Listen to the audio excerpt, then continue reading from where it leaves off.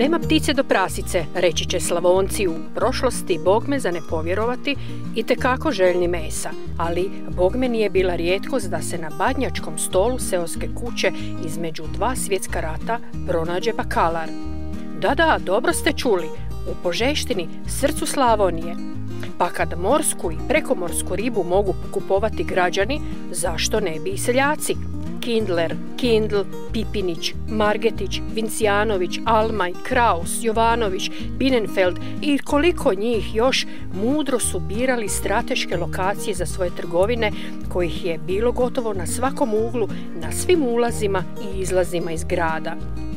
Mamili su kupca svojim proizvodima izloženim ispred trgovine u kojima se često prodavalo baš sve, od igle do lokomotive, odnosno ribe, ne bilo kakve, jednostavno svakakve ribe. Svježe, dimljene, sušene, usoljene, marinirane u ulju ili octu, riječne, morske i prekomorske u koje su građani uživali i to ne samo na petak. Spravljana na različite načine bila je savršeni prilog nekadašnjim poslijepodnevnim druženjima uz dobru, dobru domaću kapljicu.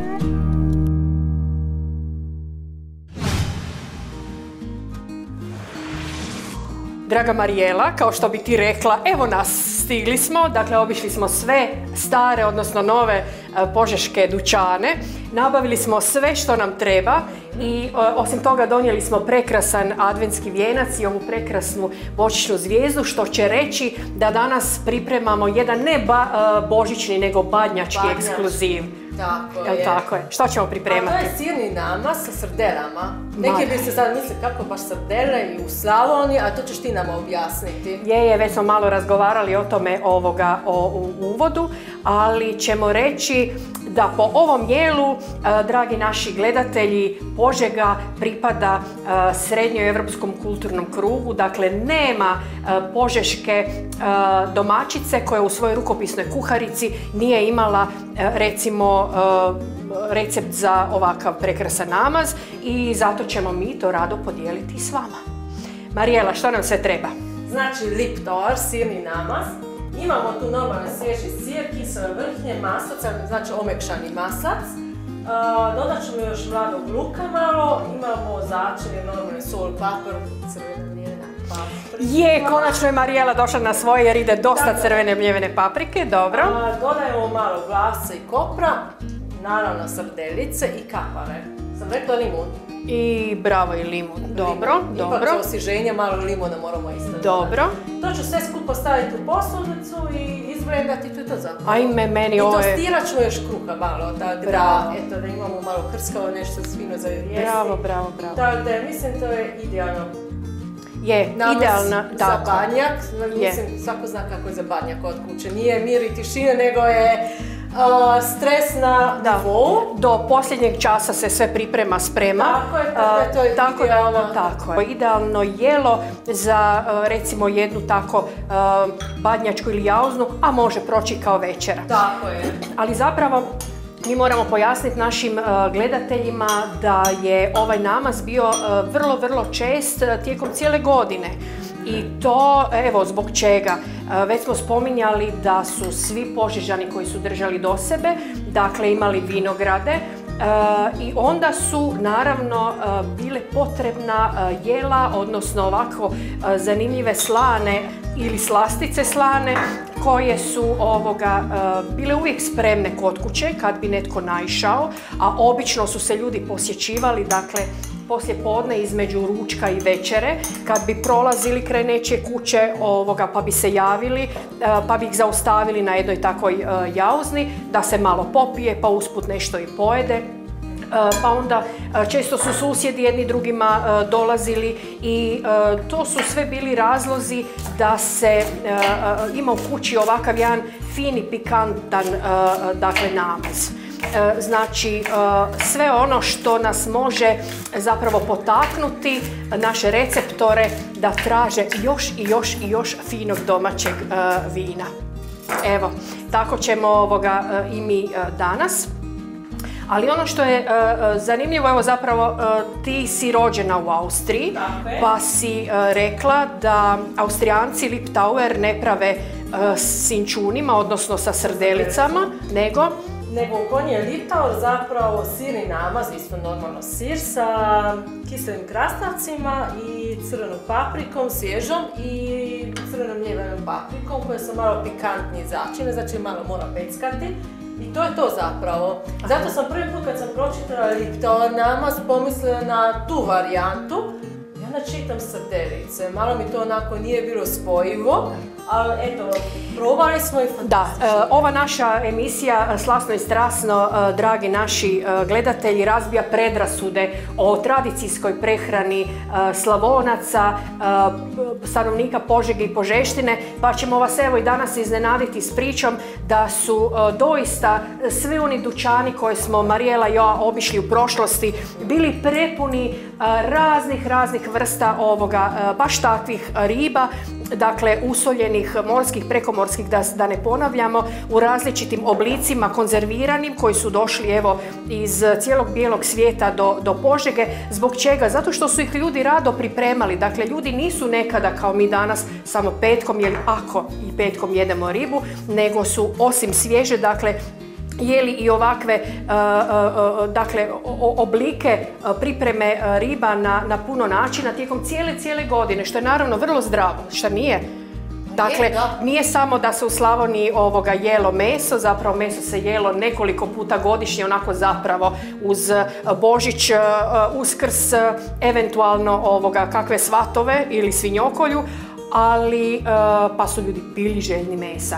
Ali riba se jela često. Seljaci su ih hvatali po potoku zajedno s rakovima, a građani su ih kupovali u trgovinama. Samo daj. Smijem? Prestat ću ja mljeti, a sad kreni ti mljeti. Sad će boš mljeti. Bravo.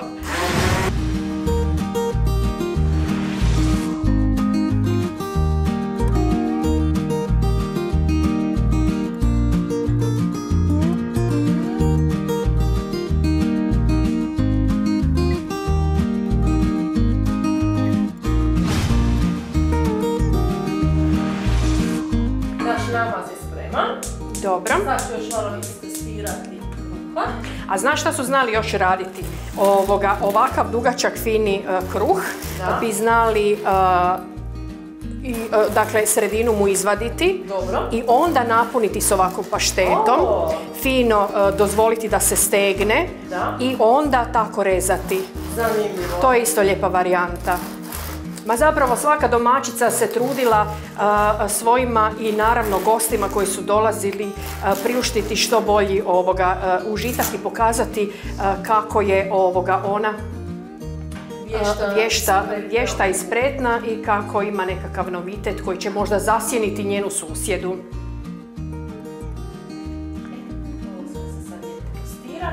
Da. Mi smo već gotovi zapravo. Jesmo, pa jesmo. kako to brzo ide. Jesmo. A dužni smo ovoga zapravo e, reći što se tiče ribe i kad smo već kod ribe, da su e, požeški trgovci čak kupovali svježu ribu mhm. od ovih e, ribara koji su ju donosili i dovozili na požešku tržnicu, pa su je tamo prodavali, ljudi su to doista ovaj, kupovali i onda su držali dakle tu svježu kupljenu ribu da bi što dulje bila svježa, dakle šarane, somove i tako dalje. Držali su u posebnim bunkerima napravljenima, potopljenima dakle u Orljavu da se što dulje drže. I takve reklame evo čak zatičemo u glasniku Požeške županije i u drugim ovaj, glasilima dakle reklame za svježu ovoga ribu u sred Požege u svako doba dakle godine.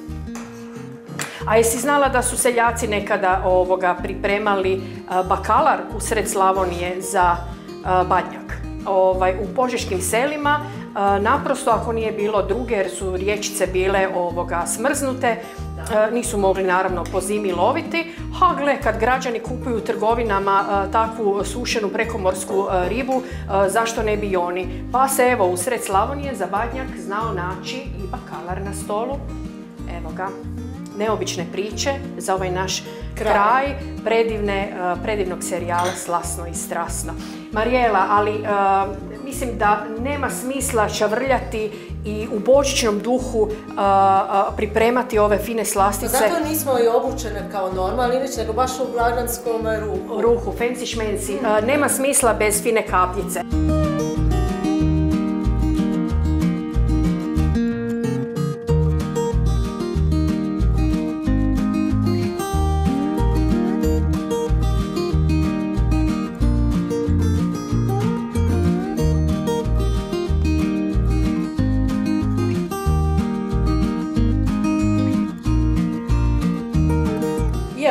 Kako vidiš, naš namaz je već spreman za uživanje. A ime meni jedva čekam.